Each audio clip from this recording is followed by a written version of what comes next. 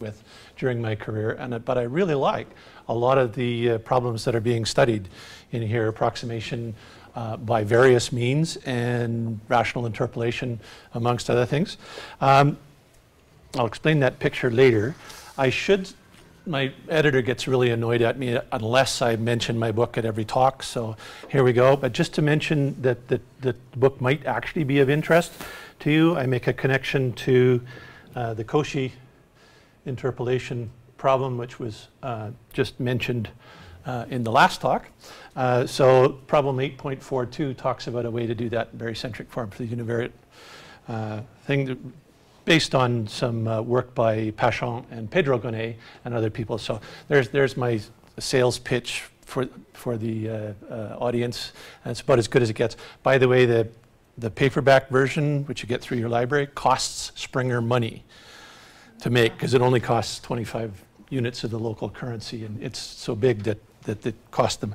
One single pricing is convenient for a bunch of reasons, but maybe they wouldn't be so happy to advertise the, for me to advertise the talk if, if they realized that it costs them money to get a copy. Anyway. Um, I think the end result is what Rob's trying to say. If you don't like Springer, Yeah, exactly, exactly. So I'm going to be running the talk. Uh, oh, actually, I should leave that at least as background um, while we're while we're going. Um, I'm going to the talk is going to be I'm using the blackboard and I'm going to be using the document camera. And one of the reasons to use a blackboard is to slow the speaker down.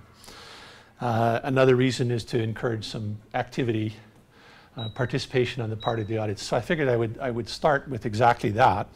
Um, I'd ask people, how many people here have taught a course involving the gamma function where you've actually done at least part of one lecture on the gamma function in the last two years? One?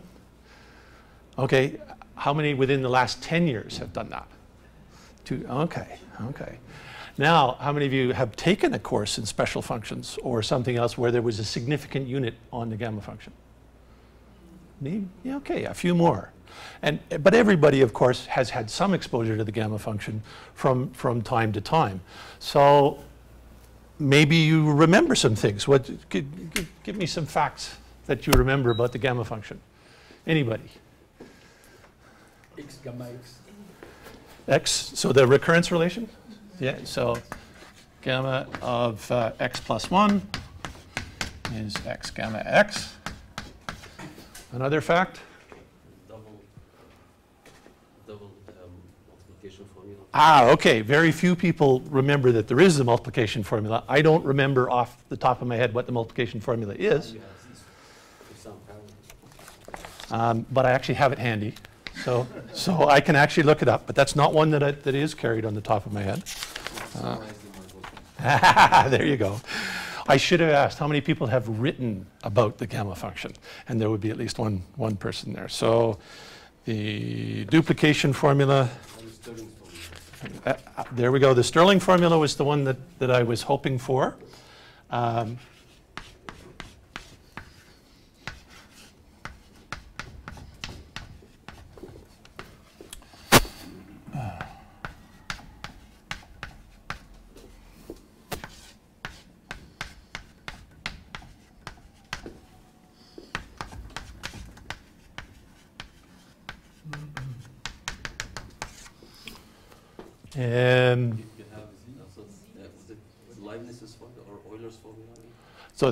the Euler's formula, the, the, the reflex. So gamma of z, gamma of 1 minus z is pi over sine by pi z. Is that the one you wanted? The, oh, aha, okay.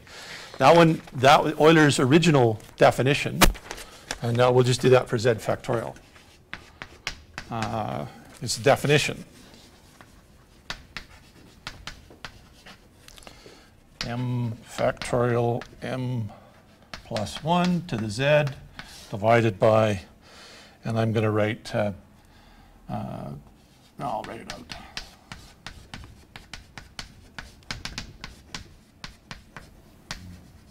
So there's Euler's definition of, of the factorial function.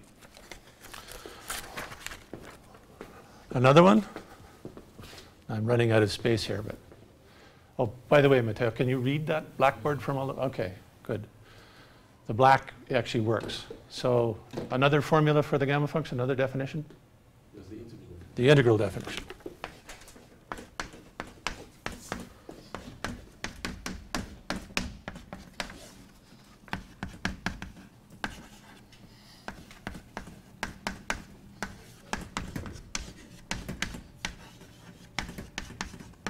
So that one only works for a real part of z bigger than zero, and then you use the reflection formula to, to guarantee. Sure.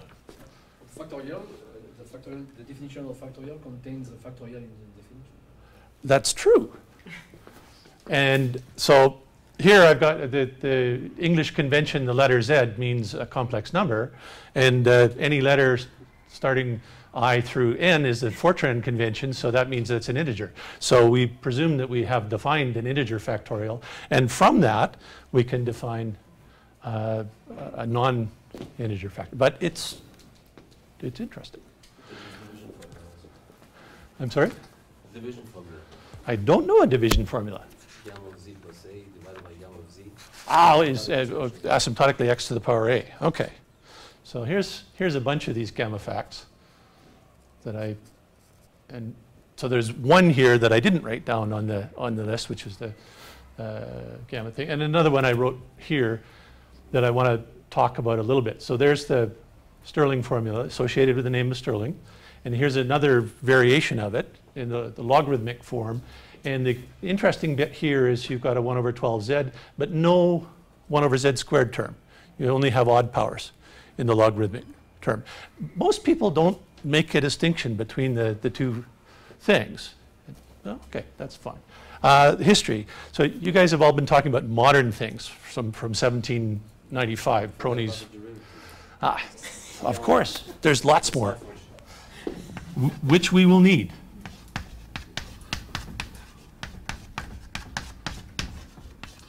So the bibliography of the gamma function at millandmerkel.com has 986 entries in it.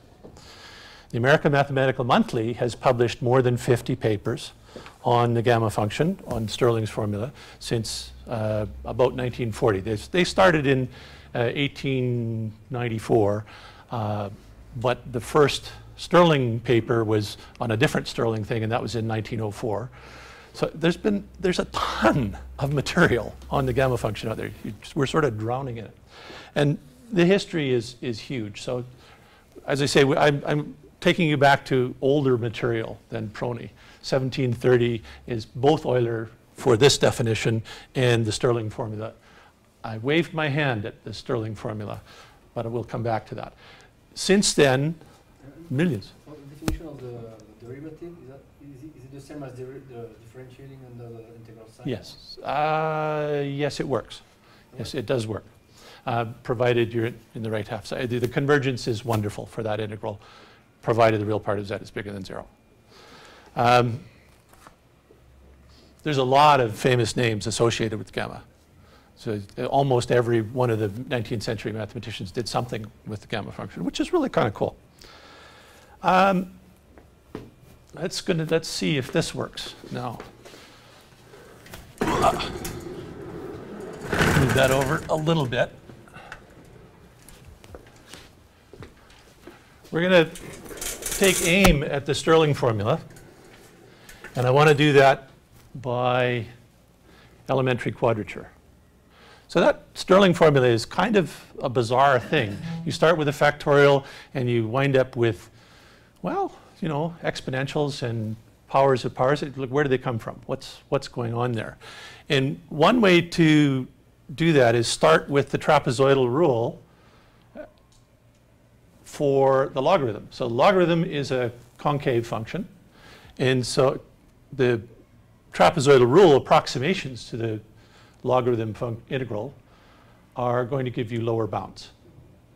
So we can say that uh, suppose that's uh, uh, j and j plus 1, we can say pretty much immediately that, uh, well, the trapezoidal rule estimate for that uh, area, if that's log t, um, that says 1 half of log j plus log of j plus 1 is strictly less than the integral from j to j plus 1 of log t.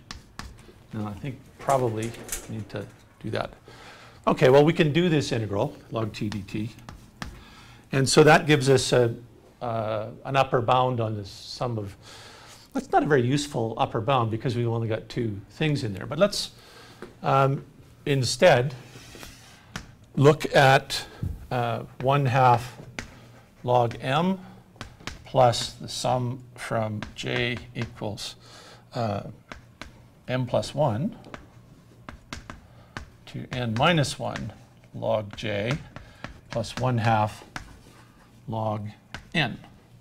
So I'm going to take a whole bunch of these, and as usual, the trapezoidal rule, on the inner ones you double up, so I get a nice sum with no 1 halves here, and this is going to be strictly less than the integral from m to n of log t dt, which is n log n minus n minus m log m plus m. Just first year calculus exercise to do the logarithm. Everybody remembers, oh yeah, we have to teach that when we go back. Right, okay. Some of you have to teach it when you get back. Lucky you. Um, great. Eh, Still, still no factorial. I don't see a factorial here, but we're going to get a factorial out of the sum of the logarithms because that's going to be, when you combine them all, it's going to be the log of the product. I want to start not at 1 here. I want to start at m because I'm going to do something a little different than, uh, than that formula. But now that I've got this formula, I'm going to add to both sides, I'm going to add um, the sum from j equals 1 to m minus 1 of log j plus 1 half log m plus 1 half log n.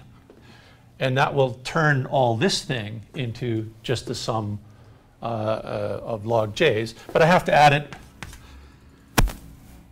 I have to add exactly the same thing on, the, on that side. It's getting a bit messy. It's not that messy. Let's move to the document camera. So I said there were 50 papers in the monthly that did Stirling's method or that did gamma function. About 10 of them used trapezoidal rule for, for Stirling's uh, formula. So here's what I just did there. We get this less than or equal to this. I require that m be less than n because otherwise the sense of the inequality is reversed. Right? If I'm integrating backwards, it's the wrong way around. So we add this stuff to both sides. We get the sum of the logarithms is less than n log n minus m log m plus m uh, plus all this stuff. The ends appear here. So pointing at the screen is an acceptable thing. This is a great thing. I really like that. Uh, I do want to warn people about green lasers. Green lasers are just energetic enough to damage people's eyes. People's eyes have been hit by enthusiastic speakers wandering around.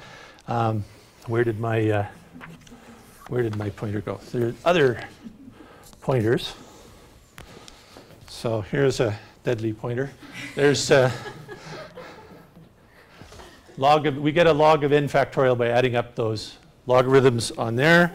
And if we combine all the terms that contain m, there's another one hiding over there, uh, and we just combine them all into a logarithm of d sub m. So we get the log of n factorial is less than the something that depends on m plus n plus 1 half times log n minus n. And there's the source of, uh, oh wait, I've got uh, um, z minus half. Anyway, we'll, we'll, uh, we'll see if it, that this 1 half uh, come up properly.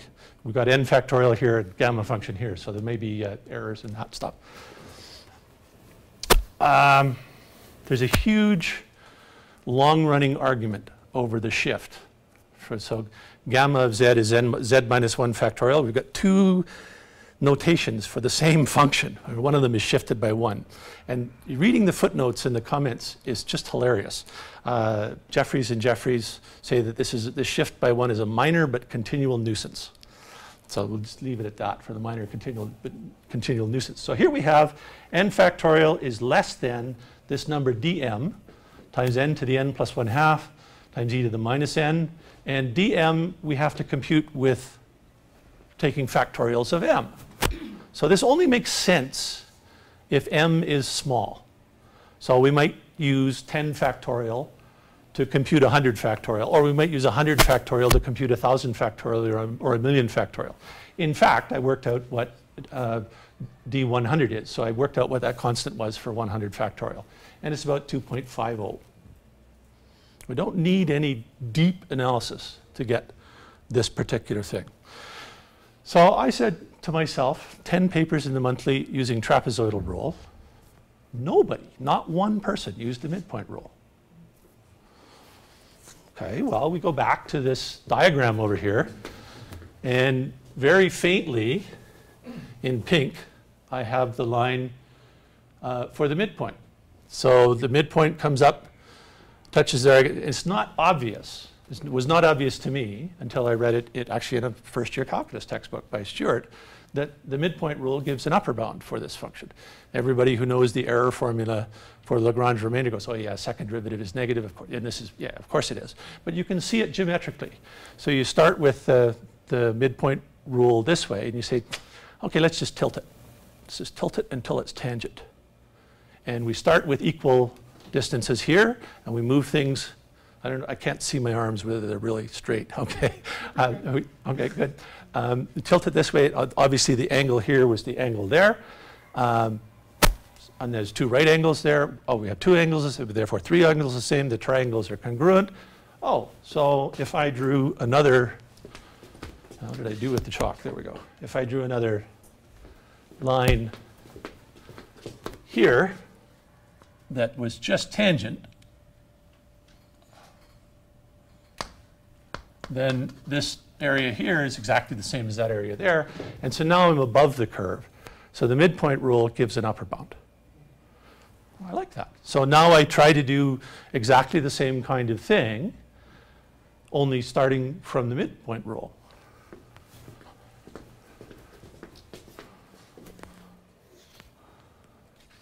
And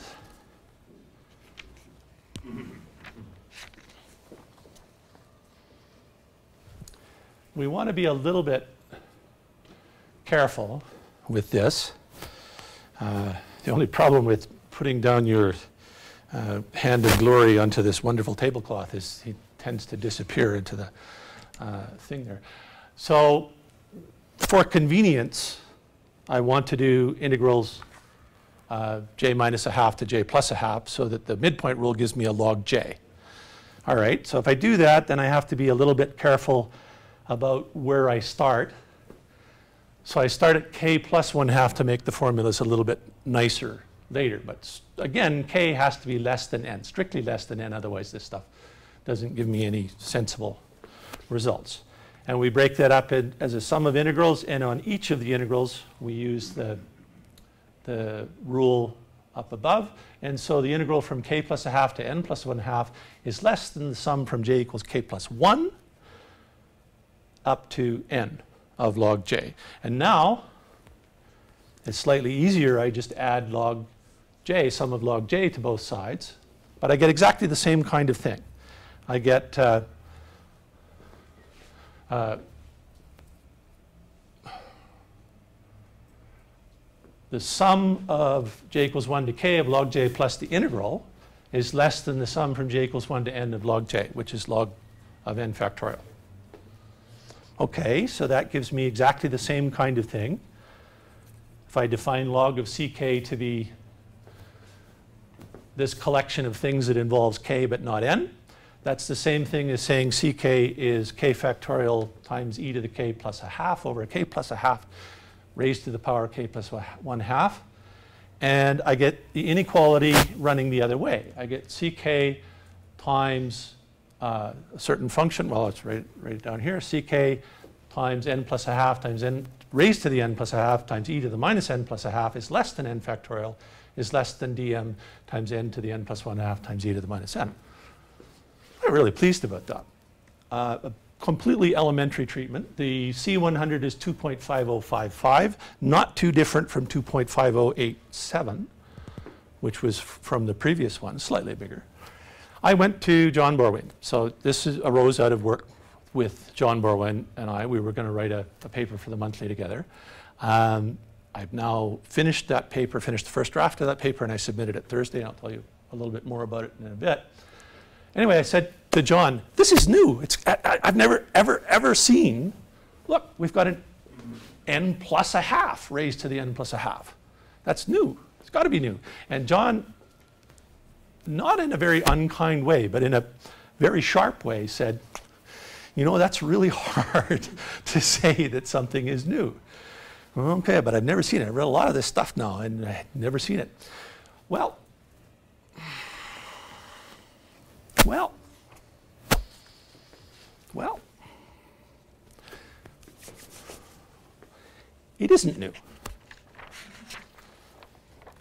Mm, we'll come back to the it isn't new. Actually, we'll do the it isn't new now. We'll do the it, it isn't new right now. And I really wanted to write this stuff down on a blackboard. So I'm going to actually write this stuff down on the blackboard.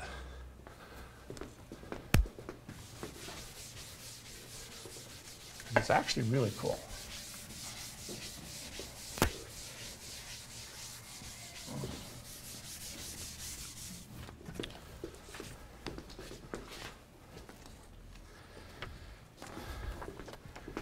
So if we consult a particular old um, uh, reference, we get a few terms. Oops, pardon me, I want to write that.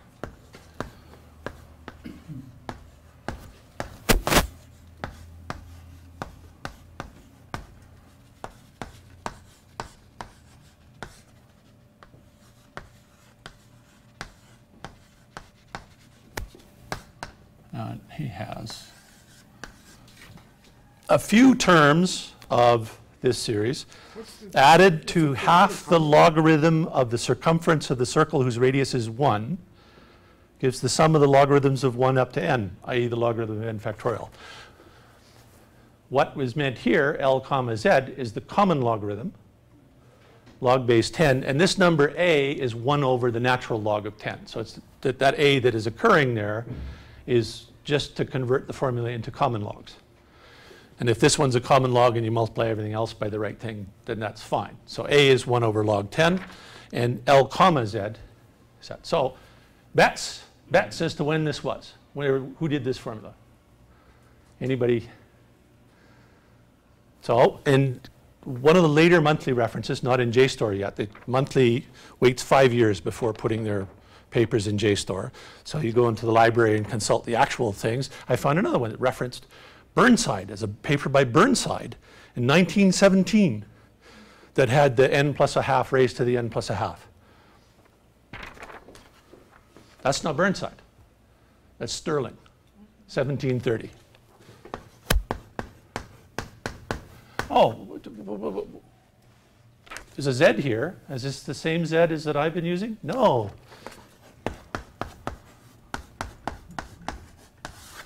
Z is n plus a half. In order to compute log n factorial, Stirling first perturbed by one half. And he got the midpoint formula. The formula that Stirling invented has n plus a half to the n plus a half e to the minus n plus a half in it. ck doesn't have ck. He says added to one half the logarithm of the circumference of a circle whose radius is 1. Oh, that's the logarithm of the square root of 2 pi. Oh. what, where's this 2 pi coming in here? Uh, let's skip the extra accuracy of, of midpoint rule. Uh, those inequalities make sense only if k is much smaller than n and m is much smaller than n because then you can't use them computationally. But what happens if you put them up to k equals n or m equals n? You get exact equality. This says that n factorial equals n factorial. okay, I kind of knew that. But if you go bigger, then the sense of the inequality reverses because now we're integrating past something, so the sense of the inequality changes. And what happens is the ck's go to root 2 pi and the dk's go to root 2 pi. So the CKs are continually increasing until you hit exact equality with the right, and then you keep going, it's now wrong, but now it's converging to square root of 2 pi. The DKs, the uh, DMs, go get exact equality when it's equal to n factorial, and then go down and it converges to root 2 pi. So the sense of the inequality in the limiting sense reverses. So root 2 pi times n plus a half to the n plus 1 a half minus times e to the minus n plus a half is bigger than n factorial, and root 2 pi n to the n plus a half e to the minus n is less than n factorial. Oh, I've got a z to the z minus a half here. Oh, oh yeah, right, gamma of z is z minus 1 factorial. I found that really interesting, that, that was, Stirling actually did this. And it, this formula that everybody knows as Stirling's formula is due to de. A little bit later. So we were talking earlier about credit for things. This gets really funny. Uh, do I have it here? I do. Here is a paper by Spouge in 1994. Uh,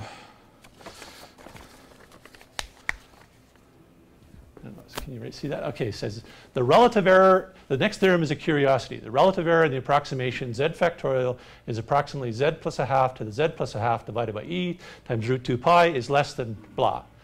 Since this is true, the equation 13 is not only simpler than Stirling's formula, it's twice as accurate. it is Stirling's formula. so, but there's no possibility, no possibility at all of changing the way the world views this formula. That's going to be Stirling's formula forever, or maybe the logarithmic version of it. There's no hope of changing an installed database of thousands, of papers and books and things on that. It gets funnier. There's some new work by uh, Peter Luschny and Wei-Peng Wang and other people who've got all kinds of different formulas for these things. They're starting to call the exponentiated version of this one the de Moivre formula. I love that. So it's true that this, these kinds of things does happen. People get the wrong names. So Newton invented Euler's method, actually invented symplectic Euler, and Euler invented Newton's method. So I think that's a really nice trade. Um, the sense of the inequalities swaps when you go to the limiting sense, so maybe the names should swap too. It's, it's okay by me. I'm perfectly happy with that. All right, so that was the first part of what I wanted to tell you about. It was just some very elementary results about approximating the gamma function by very elementary means. Of course, you, you want more terms, you want more accuracy than this provides, and the asymptotic nature of the, the series, is, as is well known. This is an asymptotic series as well. And these coefficients are known in terms of Bernoulli numbers. And the coefficients of the logarithmic version of, uh, I, I want to say Stirling's formula due to de Moivre, and then I can say Stirling's de Moivre formula due to Stirling. Okay. Uh, the logarithmic version of this is also done in terms of Bernoulli numbers. And in fact, they're proportional. This one is negative a half times the first term. This one is negative 7 eighths times the term of this one. The next one is negative 15 sixteenths. And then there's 31 30 seconds. So you, you get the idea. They're just power, pure powers of two, um, different from that. So great. We now have a nice collection of asymptotics for, for uh, Stirling's, by Stirling for the gamma function. But I wanted to talk to you about the inverse gamma function. And one of the things that came up in this review that uh, John and I were doing was gaps, gaps in the literature. So you read 50 papers from the monthly and you read another 50 papers from various places and you go in and consult a whole bunch of textbooks eventually, you putting puzzle pieces together, you see, wait, there are no pieces of the puzzle here. And one of the things that was really missing from the monthly treatment was theory of the inverse gamma function. Have anybody here ever seen a paper on the inverse gamma function? But I bet sometimes you've wanted to solve when is this term in a, in a series small, smaller than epsilon? And you've wanted to be able to solve an equation that involved n factorial. So it's not so far-fetched that you might actually want to think about the inverse gamma function. Well, the real inverse gamma function is very easy to think about.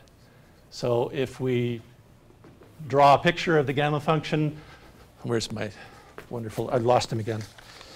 The hand of glory keeps disappearing. Um, it'll come back. Aha! Pointing at my heels. So the uh, psi function, of course, is zero everywhere we have uh, a minima of uh, a minimum of the gamma function, and those will translate into branch points, second order branch points for the inverse gamma function. So it's very straightforward to draw uh, the inverse gamma function in Maple. Parametric plots, you just swap the x and y, and away, away you go. Uh, this is kind of interesting, and I'm not going to talk about the complex inverse gamma function much, except maybe at the end. But it'd be, it'd be nice to have, we have an asymptotic formula for this. Maybe we can find an asymptotic formula for the inverse function. Maybe we can find asymptotic formulas for these. And of course, uh, there are well-known series, Laurent series, for the uh, gamma function about each of the poles. So if you ask Maple for the series of gamma of z about zero, it says, oh sure, and it gives you this wonderful series. Inverting Laurent series, can Maple do that? Yes. So we might talk about that later, but let's talk about the big branch here, the one, the one where the asymptotic Stirling formula is the one that's coming in. Let's try and in, invert that. We're going to go back to the chalk. Uh,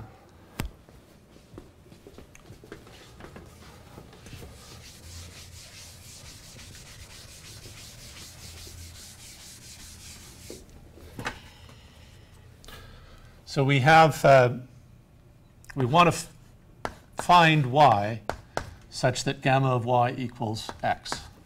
That's the problem that we're setting ourselves now. Okay, well, I know asymptotically that gamma of y is going to be asymptotic to, uh, let's make the logarithmic term. Let's take the logarithmic version.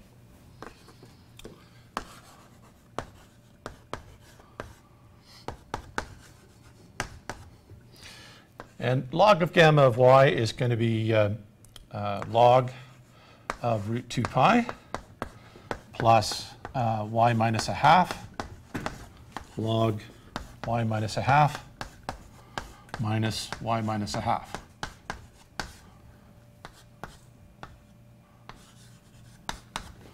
So I'm not going to take any higher order terms, just those ones. Now, is that really the same formula as I had before. I had n plus a half here. Oh yeah, that blasted shift by one. That's the gamma function. This is factorial.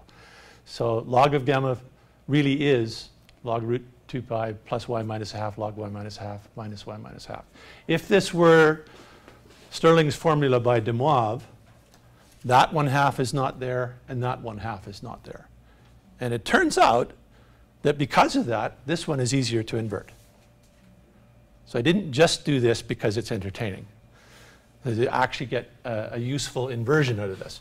So just to clean this up a little bit, let's put uh, u equal to y minus a half and v equal to log of x over root 2 pi. So this equation then becomes u log u minus u is equal to v. And I want to solve that equation for v. Cover your ears, George. la la la la la la la. W function. you are exactly right. So that's that's the same as u. Oh no, that's one of the that one of the bad things about chalk is when you drop them, they break. Um, Another one of the bad things about chalkboards is the tendency to use the bottom half and you bend over. And in a flat classroom like this, forget it. So I shall come over here. I probably, third bad thing is you always take the erasers over to the side that you're not on.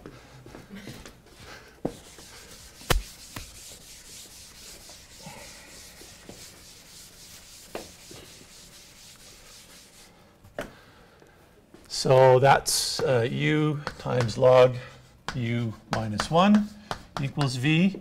Uh, that's u log u over e equals v. My students really don't like the fact that, that when I write an e, it looks like an L. But if I write an L the ordinary way, it looks too much like a 1. So you take your pick and you have your choice. That's E, that's L. Okay. Um, I'm going to divide both sides by E.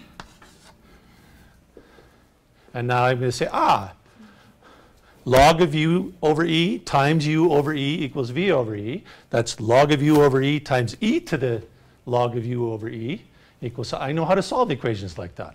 You solve them with Lambert W. So therefore, log of u over e is uh, Lambert W, any branch of v over e. Has anybody in the room not heard of the Lambert W function? 20 years ago today, that would not have been true. So I'm pleased. Um, I don't like log of u. I want u. I don't want this. I need to take exponentials. Okay, well, luckily with, uh, I don't need you anymore.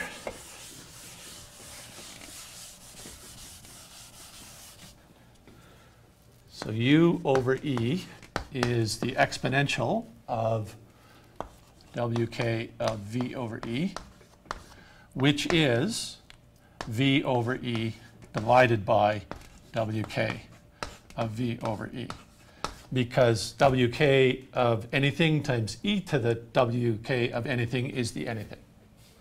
So u over e is v over e divided by wk. So at long last, u equals v over wk of v over e.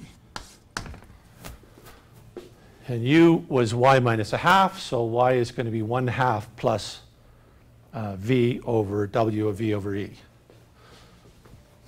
Put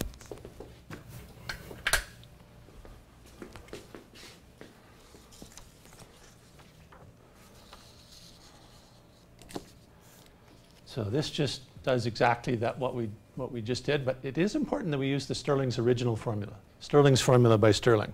No, the De Moivre formula by Stirling. I'm going to be amused about that for decades. Uh, so here is our final little formula.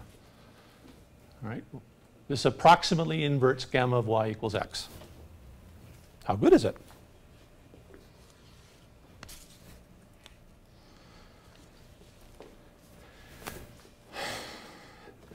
That formula is valid only for large x.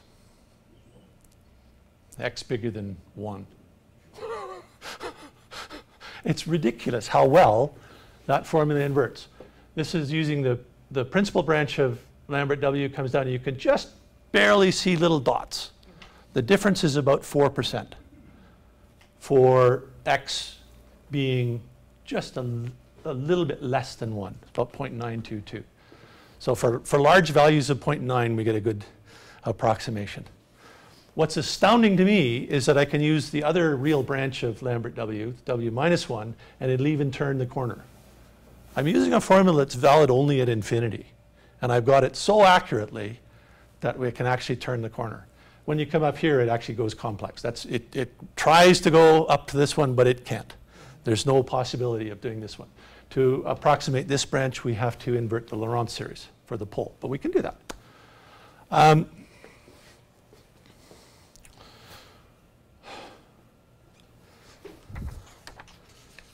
nobody's happy with just one term in an approximation. I relax, I won't make you go through the, the, whole computation here. I won't do I considered doing it on the board, but I decided enough was enough. So we're going to go straight to the document, document camera from now. So the Stirling's original series, there's the general term. We get the 1 minus 2 to the 1 minus 2n times b2n over 2n, 2n minus 1. Uh, Stirling formula by De just has these numbers in it and no minus sign and not this factor. But it's uh, odd powers, and I've taken one of them out here, so I've just got even powers there. Now, if we use our initial approximation from this formula that, that we just derived, then I want a correction. So I'm going to put u equal this u0 times p, where p is 1 plus some correction terms. u0, that this approximation here, uh, 1 half plus, plus this thing, v is uh, log x over root 2 pi, so that goes to infinity as x goes to infinity.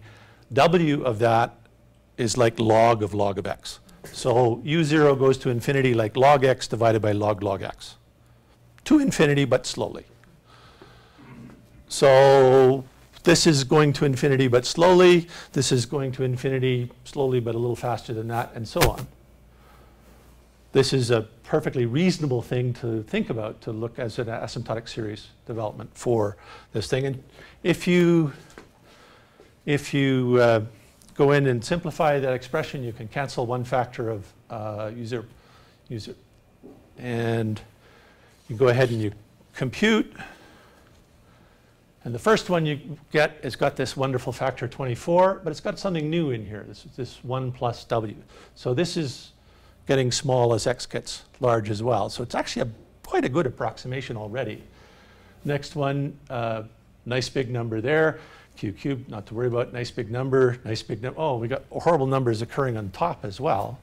But we can compute as many terms as we want in this asymptotic development for the inverse gamma function. It is not convergent. In fact, this gets into trouble uh, at the corner right away. So q equals 0 right here. So the zeroth order term can turn the corner, but even when you add one correction, it can't. So the asymptotics uh, really do hurt you a little bit. Um, those of you who know the online encyclopedia of integer sequences, the, denom the denominators in that sequence appear. And it connects to Peter Luschny, who I already mentioned, as the person who calls um, the exponentiated version of Stirling's formula, the de formula. Okay. Uh, I really like that series. I'm very happy with that series. Uh, it's just that one branch.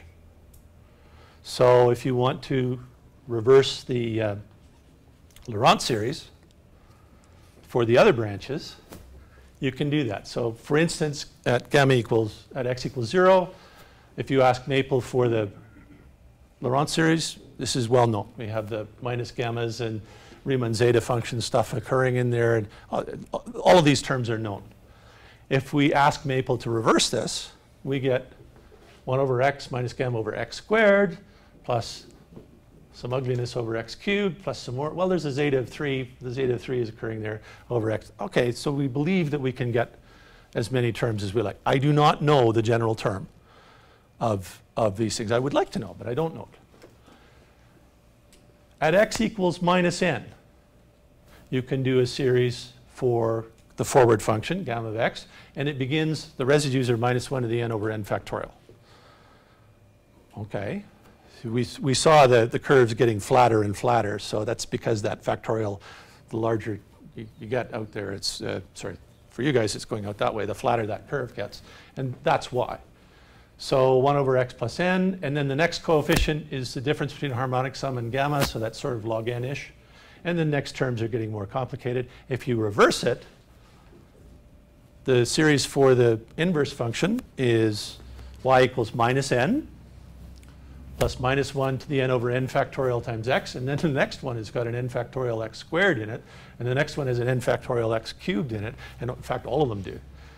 So this series is about as quickly converging a series as I've ever seen. The radius of convergence is still 1. At most 1. In fact, it's always a little bit less than 1 because it's the distance to that, that other branch point, if it converges at all. So I haven't proved the, the convergence of this series or got an actual radius of convergence for it. I'd like to know that as well. But I do know that it's asymptotic as x goes to infinity. So for n even, the series come in like this and this, and we get that series gets both of them. And for uh, if n is odd, then it comes in underneath and above over there. It's kind of fun to do that. This is elementary basic function theory for a function that people really hadn't noticed. They said it was in the missing part of the puzzle. I'm really surprised. It's such a basic thing to think about the inverse of a function. Why on earth has nobody? Well, in fact, there are two papers, one in two 2012, one in 2015, on the inverse gamma function. And that's it, as far as I can find. Uh, one of the things that I wanted to thank the organizers for was for inviting me to this conference, although I'm only you know, tangentially or a little bit overlap with most of the people here. And most of this talk has been completely different, not just in the style of presentation, but in the content from anything that everybody else has done. But I do want to finally make some connection to some, at least in terms of questions, or things that people have here. So um, if you want to compute the forward function, to compute the gamma function forward, it turns out that there are three major collections, maybe four major collections of, of in fact, certainly four, uh, of ways to do it. The first one is just to use the Stirling formula and recurrence. And as far as I know, nobody really uses the, the original Stirling one, except unless they rediscover it. So Spouge rediscovered it.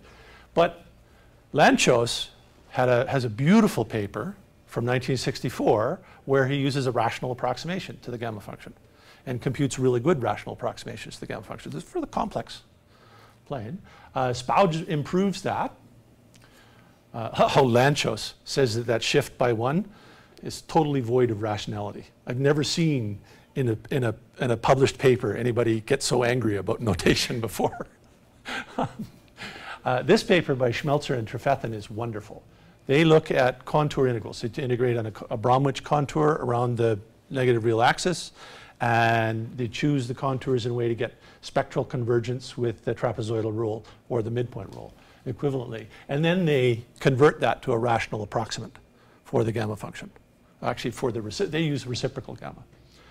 Um, my question to people here is how should we really compute the inverse gamma function?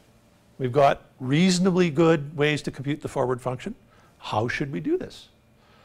Rational approximate? Well, we may have to do Puiseux stuff where we've got all those corners. I don't know how to handle the corners correctly. I don't know how to handle those really sharp corners. So you might have good approximations going up and then having it turn the corner is going to be tough. I don't know how to do that.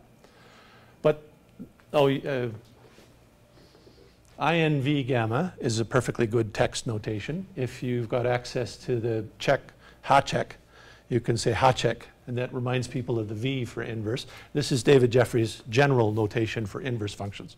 I really like it. Much better than arc, because there's no angles involved here. And it's way better than gamma to the minus one, because everybody thinks you mean reciprocal gamma. Everybody, because reciprocal gamma is really common in a lot of places. All right, well, the first thing to try is Newton's method. Because of the extreme dynamic range of gamma, you actually want to do the log uh, gamma function. So we, we uh, fire up Newton's method to see what we happen. And near the branch points, this will fail. And by the way, I did not know that until three weeks ago that the asymptotic location of those branch points for gamma is not in the middle, it's closer to the farther end. So the asymptotics of those branch points are minus n plus 1 over pi inverse tangent pi over log n. So as n goes to infinity, that goes to zero, and it's asymptotically close to the pole, which is weird. Anyway, so we try Newton's method, and uh, I'm going to end my talk with how this works. that is uh, basis of attraction for Newton's method for log of gamma of z minus 1, or log of 1. Actually, the, oh, it looks better here. Um, we have a, a, a Dia de los Muertos version. And there we have it. All right, thank you very much for your attention. Do we have any uh, questions for uh, the, color on the picture, uh, number of iterations? Um, this, uh, the colors were chosen by a smoothing package. My student, Stephen Thornton, did this one. So it, it, the colors reflect uh, the number of iterations it takes to converge. but not so much where it converges to, so they're not coloring to, to converge to different roots. Uh, This, this central Y, here, let's put it back here, this, this, oh, that's, thank you. This uh, central Y is almost the, what we want to call the, the principal branch. Uh, But in fact, we need to have another line in between these two because there are two roots here. And as you can see, they're colored the same, but they're actually two roots that it's converging to. And you can begin to see some weirdo fractal stuff in there, but it's being smoothed out by the algorithm that, that draws the nice picture on this one here. But yes, it's a representation, not anything with tremendous amount of mathematical content. But I kind of like the, the colors. And one of my cousins is a dress designer. He owns a company called Dress God, and he's working in uh, uh, London, England. And he's really impressed with this. And so there may be uh, cocktail dresses and uh, tights and things made with these with these patterns. Next time you're not only selling a book. Next time, I'm not only selling a book. Exactly. Actually, uh, the, the PDF of the book is free, and it's been pirated, so I, I frankly don't care if people pay money or not, or if you wish to penalize Springer Uh-huh, by so buying this one. the price for future time? Yeah, yeah, for future clients, maybe, yeah, yeah. But for, you will pay through the nose for the cocktail dresses based on this one. Yes, that's true.